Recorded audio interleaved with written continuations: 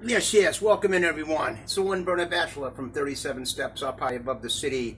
Hoping everybody's being safe, staying cool during this heat wave. Speaking of cool, I need you to check this out. Look at this. Oh, a lot of the comments recently have been, we love Angelo, we love the t-shirts, are you going to do any more cooking? All right. Well, Angelo still can't hold the camera so well, and there was no way I could do this with one hand.